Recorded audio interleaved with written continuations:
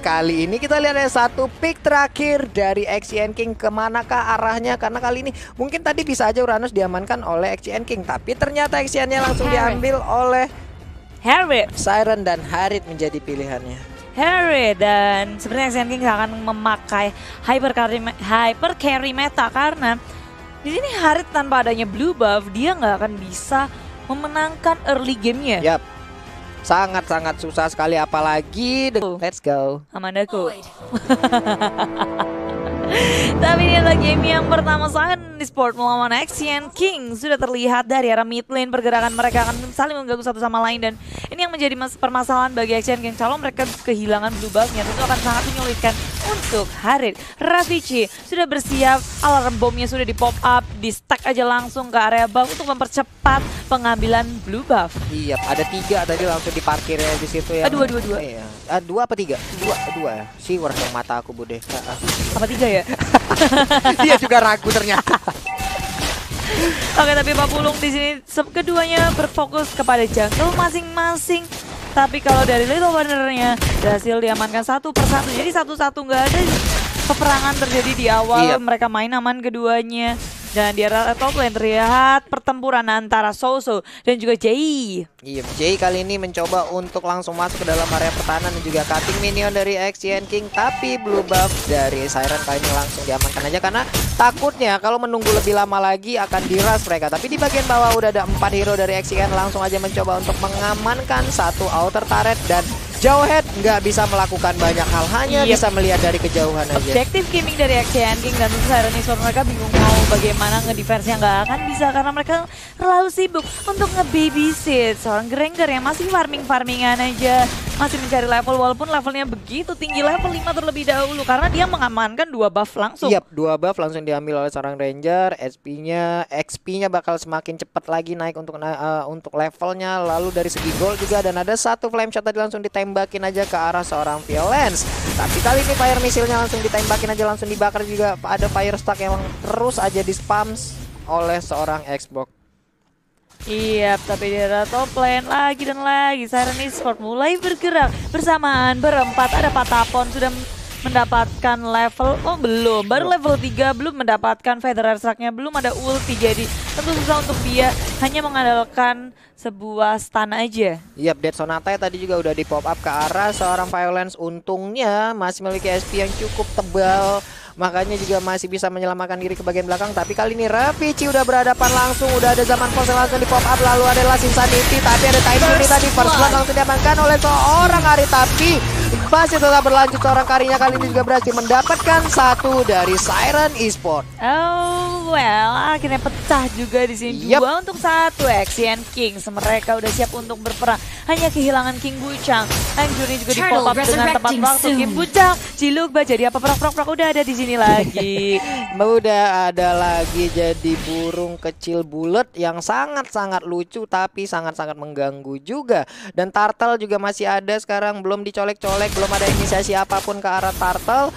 Tapi dari Uh-oh. King Bucang Uh-oh. cukup bandel dia memberikan Sendirian. sebuah time bombnya sendirian ya, tapi di bagian belakang udah ada udah ada zaman pos yang langsung dibuka dan juga fire missile kali ini tapi feeder ice strike dan ternyata turtle berhasil diamankan. Wow. Inisiasi dari Hinel mencoba untuk mendapatkan Rafiji. Ejector dikeluarkan tapi belum ada follow up-nya. Mencoba untuk mengejar Rafijinya pun tertumbangkan karena Siren Esports mereka ngoyo banget. Mereka udah siap untuk nge-take down dan tanpa mengeluarkan time journey King Bucang pun tumbang di awal. Dan pertarungan yang terjadi di mana pun berserakan di kanan ke kiri tapi begitu sekarang King Soso. Sosonya juga tumbang. Mau melakukan apa? Mau ngelakuin inisiasi tapi damage dari Siren Esports begitu besar. Patapon Wow. dengan feather attack-nya.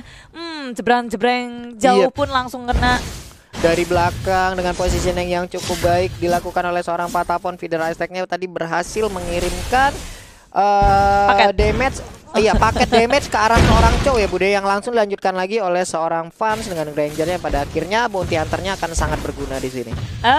Oke, dan setelah kehilangan begitu banyak daerah mid lane, mereka juga kehilangan turret daerah top lane Hinel begitu sekarat terkena solo kill oleh Raviji tapi daerah top lane sudah terjadi peperangan. Last Insanity nggak mengenai siapa pun hanya untuk kabur-kaburan aja. Bersama dengan Time Journey ingin mengamankan diri karena kali ini Esports mereka berfokus berfokus terhadap turret kedua di arah lane AGN Kings. Kehilangan turret secara gratis untuk Siren Esports. Iya, tapi di bagian tengah juga satu outer turretnya berhasil untuk dibuat tipis oleh seorang Soso walaupun belum berhasil untuk langsung menumbangkan. Tapi di bagian atas tadi seperti yang Bude bilang satu inner turret juga dari XCN King harus langsung dirubuhkan. Sementara Violence kali ini masih mencoba untuk clear minion terlebih dahulu.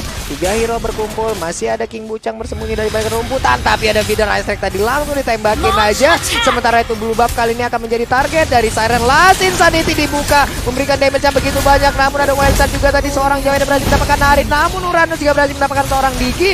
Tapi di bagian belakang Fire Missile double kill untuk seorang Uranus. Wow, Siren. Iya, ini adalah pertarungan 5 untuk 4 karena dari tadi Sosonya lagi sibuk di arah jungle. Dia ingin pick off salah satu dari Siren Esports. Tapi rumahnya Siren Esports nggak ada yang ngelewatin Soso. Dia berada di jungle sendirian tuh. Dia nungguin siapa nih yang mau ke belakang. Siapa nih ternyata nggak ada cuma dilewatin gitu aja. Nggak ada yang peduli dan arahnya berbeda. Soso memperhitungkannya salah. Iya, Coba untuk melakukan split push dan Ih. ini sebenarnya Last Insanity-nya udah bagus banget ngenai 3 damage tapi Yep. tidak bisa karena fansnya masih begitu bebas di arah belakang dan Wow.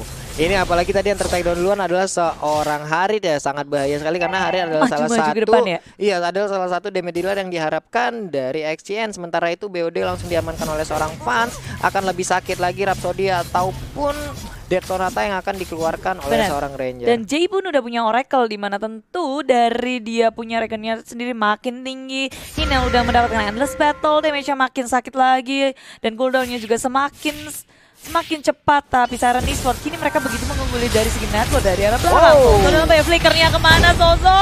Flickernya ke arah belakang, Engsot ke arah belakang malah semakin mendekati Siren Esports. Salah flicker tadi seperti ya Bude. Kayak kaget gitu kali ya. Eh, kegeser ke bawah. Langsung bergeser ke bawah yang pada akhirnya tadi unstoppable unstoppable force dari seorang Jawhead berhasil menabrak langsung ke arah seorang Chow Tapi kali ini kita lihat ya Dead Sonata langsung ditembakin aja Begitu sakitnya. Tiraga armor dari seorang Xbox sepertinya pecah di sebelah sana. Yap benar sekali pecah ternyata. Yes, setelah mendapatkan sebelah mendapatkan turret arah bottom lane mereka bergerak lagi ke arah mid lane. Langsung ada barrier yang keluar di eject Harus pecah dari immortality-nya. Kembali lagi Last Insanity dikeluarkan. Mencoba untuk kabur-kaburan dengan flickernya dengan Last Insanity. Axian King berhasil untuk selamat dari gemburan Siren Esports tapi permasalahannya bahwa milik Raviji akan hilang. Dicuri oleh Siren Esports network terus-terusan ke arah Siren Esports. Kali ini perbedaannya udah sampai ke angka 9 eh 7 ribu, 7 6 sampai 7 ribu. 6 sampai 7 ribu. Maaf ya matematik saya jelek. Wow, Red Buffet juga tadi sepertinya langsung diamankan aja, tapi itu sepertinya belum diamankan oleh seorang ya Granger dan juga Grok. Grok yang berhasil mengamankan red buff-nya. Sungguh-sungguh sangat disayangkan sekali seorang Karik juga nggak memiliki red buff sejauh ini. Dari Soso juga melakukan speed push di bagian bawah. Santai lagi semuanya. Masih clear minion. Turtle kali ini yang menjadi objektif dari Siren Esports. Wow. Ini ya bottom lane, di arah top lane semuanya mencoba untuk melakukan split push satu sama lain. Di arah bottom lane udah ada Soso yang mencari siapakah yang akan mencoba ngelakuin push lane di arah bottom lane. Tapi kalau lawannya adalah Hinel, aku gak yakin Soso bisa menang sih. Kalau Ah. dia mau coba ngelakuin pick off Yap, di arah bottom lane, tapi di arah top lane kita melihat tiga hero dari Siren Esports sudah menduduki jungle milik Axian Kings. Ini benar-benar dipersempit banget area pertahanan dari XCN. Tadi udah ada flame shot yang tembakan juga ke arah rumputan yang isinya ternyata ada Xbox, ada barir juga yang langsung aja di pop up kali ini. Tapi Rice langsung ditembakin aja memukul mundur player dari Oh my god. Dan tadi langsung connect dan berhasil mendapatkan satu player dari XCN sementara itu Wild Shot tadi udah dikeluarkan juga double kill untuk seorang Ranger bot yang ternyata sangat-sangat kaya sekali 305 sekarang. Au, au. Setelah mendapatkan kill yang cukup baik terhadap King Bucang Kali ini. Sirenis begitu berani menuju ke arah top lane. Inhibitor dalam bahaya. Action King sangat kehilangan satu Bahkan akan menjadi dua karena di arah mid lane-nya Akan langsung dihajar oleh tim Siren Esports. Difokuskan, sudah ada Saman Force yang dikeluarkan. Rapi Jim coba untuk mendefense tapi sayangnya pun gagal. Maju ke depan dengan time journey King Bucang kembali menjadi telur. Di arah belakang Azur loncat yang menuju kali ini belakang milik Action King dan Bucang Bersama dengan Barbie harus tumbang Iya, dua lagi harus tumbang. Semakin kaya lagi dari seorang pandangan Grangernya dan kali ini satu ini bisa taret dari Chen King langsung dibabar habis saja. Udah gundul, fire missile ditembakin terus menerus tapi belum ada efek yang maksimal feeder ice strike sejauh ini. Tapi dari seorang sosok mencoba untuk melakukan inisiasi mundur lagi sekarang lagi Sanity lalu ada Zaman Force juga mengusir dari minion yang masuk ke dalam pertahanan dari XCN. Iya, pasti saya semua nggak bisa mengenai siapa pun dari tim Siren karena mereka langsung mundur teratur. Lord Gak mau melakukan peperangan soon. kalau itu terlalu beresiko. Mereka kembali karena Lord pun sudah hadir di Land of Dawn. Siren Esport ingin mencari bantuan lagi untuk memfinish game ini karena mereka udah kebuka banget sih. Dari tiga inhibitornya udah pecah semua, sedangkan Siren Esport mereka cuma kehilangan satu turret di area bottom lane. Iya, Barbie juga belum bisa melakukan banyak pergerakan ya 2-1-0 yang sejauh ini dikumpulkan oleh seorang Barbie sendiri dan juga kali ini kita lihat patapan berubah menjadi burung langsung aja ke sudut lainnya tapi di bagian bawah karinya harus langsung recall karena sepertinya dia tahu ada pergerakan menuju ke arahnya. Jauh Yep. head juga nih dengan smart misinya langsung aja berhasil mendapatkan satu monster jungle. Satu momon. Satu momon berhasil diamankan Yep. oleh Siren. Dan Lord pun akan bergerak sesaat lagi. Siren Esport dengan baiknya mereka udah nge-push top lane-nya. Bottom lane-nya dari minion pun akan datang. Super minion hadir bersama Lord.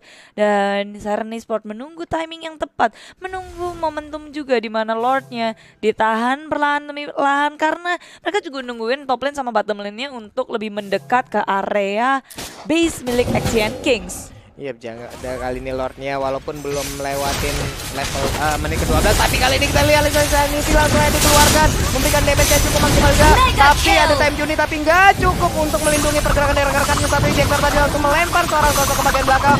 Tapi sejauh ini seorang aja terasa sedikit lagi SP-nya yang pada akhirnya kemenangan. Pertama diambil oleh Siren wow! Luar biasa permainan dari Siren mereka baru saja mendapatkan satu game dari tim yang memegang puncak klasemen di MDL.